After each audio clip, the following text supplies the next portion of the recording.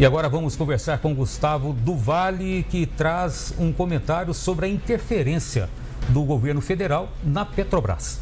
Olá, amigos. Eu sempre disse aqui nesse nosso espaço de que eu nunca concordei com essa tentativa de interferência do governo na administração de empresas privadas ou de estatais, eh, já que essas empresas todas têm ação em bolsa e os acionistas podem ser prejudicados. Nós vimos há um tempo atrás, uns 15 dias atrás, o que aconteceu com as ações da Petrobras eh, devido à retenção de 50% dos dividendos que deveriam ser pagos relativo ao resultado da companhia.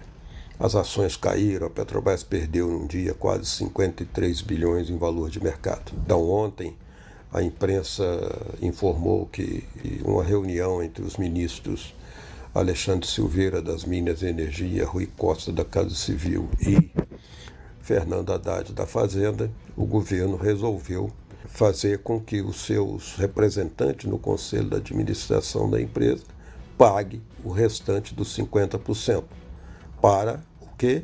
Para ajudar o Ministério da Fazenda a cobrir o déficit fiscal desse ano. Mas o que eu quero dizer, imaginem vocês, se é uma empresa privada normal, há 15 dias toma uma decisão e há 15 dias depois muda completamente essa decisão de forma é, abrupta, completamente diferente, vamos dizer assim.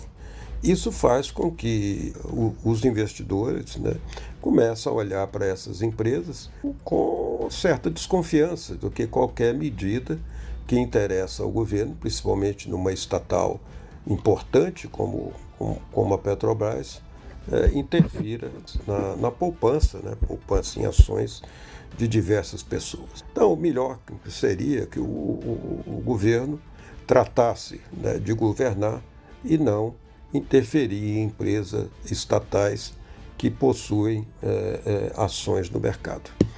Por hoje é só, um grande abraço a todos e até mais.